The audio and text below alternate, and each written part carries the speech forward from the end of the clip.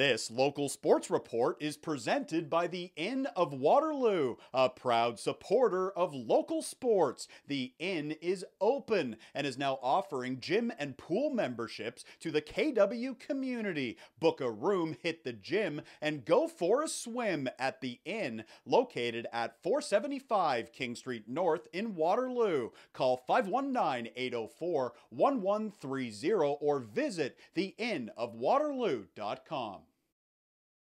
WCSSAA Junior Football, the Grand River Renegades on home field Thursday afternoon. They would host the WCI Vikings. Both teams with a pair of wins this season, looking to win out as we edge closer to the playoffs. First quarter, the Vikings here on third down looking to run.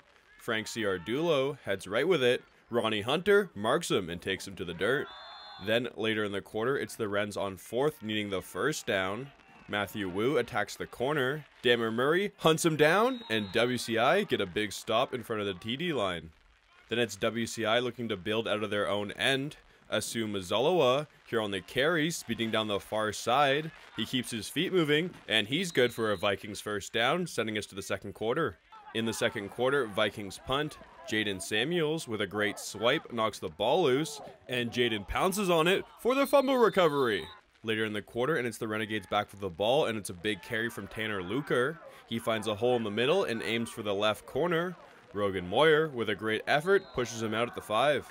But moments later, the Wrens would find the opening touchdown. Hayden Beavers, with an Olympic diving effort, gets the ball over the pack and over the TD line, so it's 7 0 Renegades. Then, moments later, it's the Grand River defense stepping up. The Viking snap is wild. Logan Shaw breaks the line and finds the sack. Late in the first half, and it's the Vikings looking to respond. It's a handoff to the big man, Asu Mazalawa. He fights off a couple of renegades, and once the Asu train is on his track and steaming ahead, he just doesn't stop. Asu with a 90 yard carry for the Vikings, and it's 7 6. Final possession of the half, and it's Grand River looking to run. Rogan Moyer, flying in with a big tackle, takes down the runner. In the fourth quarter now, WCI still down 7 6 here on fourth down.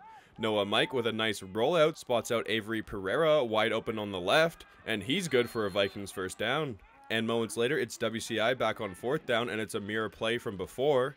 Noah Mike with a rollout into a fadeaway pass that finds Avery Pereira. Avery charges the corner, and he's in there! And the Vikings take a 12 7 lead. WCI looking for the two point conversion here on this run from Asu Mazalawa. Max Miller, standing up the big man, pushes him out, and Grand River stay within five points. Late in the fourth, WCI with the ball, but it's fumbled. Jordan Nguyen dives on it, and he gives the Renegades one last chance with the ball. But here on the Renegades' fourth down, the Vikings defense would hold strong. Here they are closing down the runner, and it's Carson Anderson getting enough of him to bring him down. The WCI Vikings would run out the clock, and they win an intense one over the Grand River Renegades. This one ending with a final score of 12 7.